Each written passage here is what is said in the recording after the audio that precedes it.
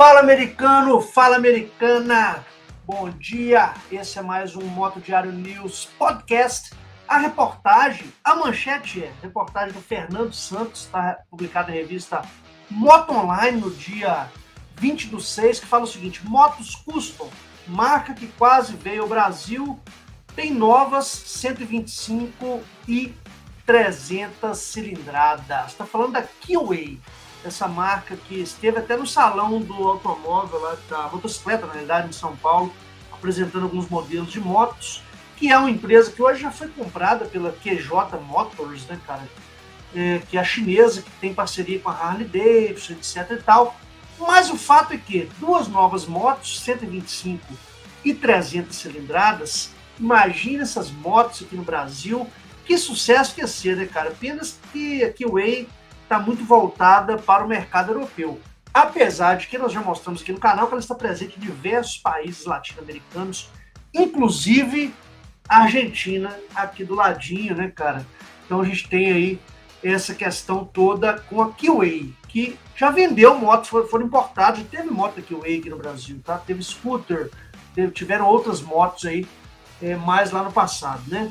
Então a reportagem de Fernando Santos, mas também foi publicada outro dia na revista Moto Mais, tá? tá? Sem o, o, autor aqui da reportagem, no dia 25, fala o seguinte: Kiway reforça sua gama de cruisers com a V-Cruise 125 e a V302C. Americano, rapidinho aqui, uma pausazinha no, nossa, no nosso podcast, para pedir para você dar uma olhadinha na sua inscrição, cara, veja se você continua inscrito, se não, refaça, ativa o sininho para receber as notificações dos vídeos diariamente.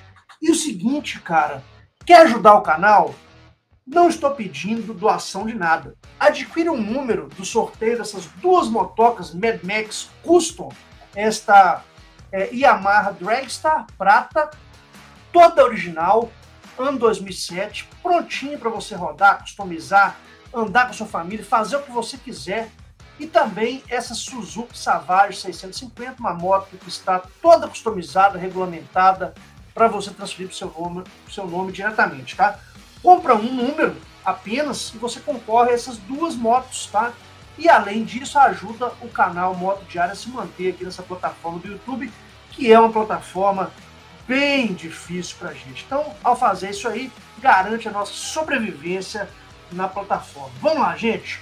Kiway apresentou dois novos modelos de é, modernos de motores V-Twin, tanto a 125 quanto a 302C, elas trazem um motor em V, cara, essa marca maravilhosa aí, que já esteve aqui e que poderia voltar. Não esteve não, quase esteve aqui, mas poderia entrar no mercado nacional, né, cara? A gente mostrou motos que foram lançadas pela Kiway, até mesmo lá no mercado indiano, né? Mas quem sabe, né, americano, com essas modificações, com essa chegada, principalmente da Bajaj, né, que vem aí bater de frente, diz ela, né, com Honda, mas principalmente com a Royal Enfield, que é a sua competidora forte lá na Índia, né? Se ela traz as motos custom, acaba despertando os olhos do mercado para outras marcas, né, como por exemplo a Kiwi, apesar de que é um parto, né?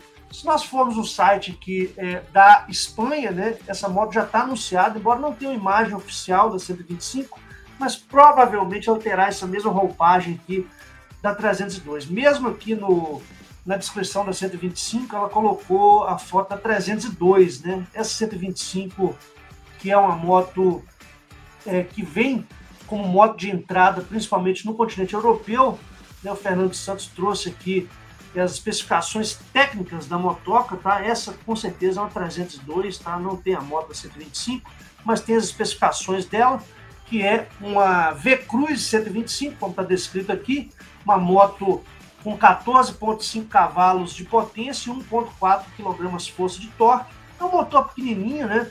124 centímetros cúbicos, vamos colocar assim. E a 302, que na realidade é essa aparecendo aqui na imagem, já é uma moto que tem 30 cavalos de potência. Aí sim, né, papai? Aí meteor chora, hein, meu filho?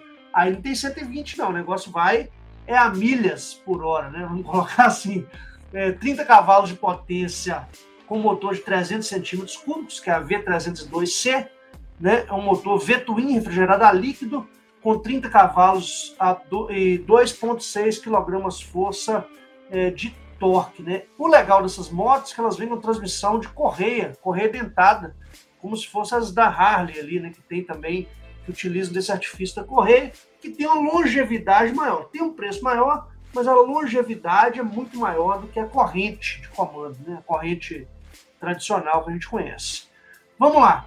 Essas motos, elas vão exclusivamente para o continente europeu, principalmente a de 125 cilindradas, tendo em vista que lá tem um sistema de habilitação que exige que a pessoa seja habilitada em cilindradas menores antes de partir para as motos de média e alta cilindrada, né, americano? Olha aí, ó, coisa linda, hein, cara?